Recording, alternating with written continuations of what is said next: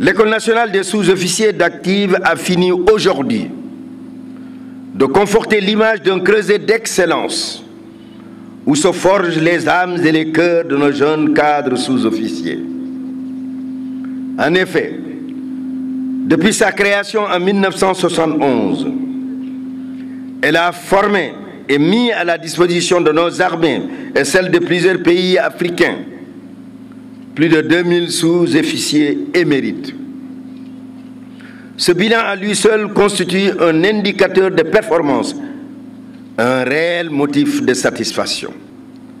Je tiens à rendre hommage au nom de son Excellence M. Macky Sall, président de la République et chef suprême des armées, et à mon nom propre, à la hiérarchie militaire, mais aussi aux membres de l'encadrement et à tous ceux qui, de près ou de, Lyon, de loin, ont contribué aux efforts de formation des sous-officiers et de leur préparation à leur future responsabilité. L'ENSOA représente un modèle parfait d'intégration sous-régionale. Comme en témoigne la présence de 10 élèves issus de pays amis au sein de cette promotion provenant du Cameroun, de la Gambie, de la Guinée-Bissau, du Mali et du Togo. Je saisis cette opportunité pour leur demander de transmettre aux autorités de leur pays respectifs nos sincères remerciements pour la confiance renouvelée au Sénégal concernant la formation de leurs cadres.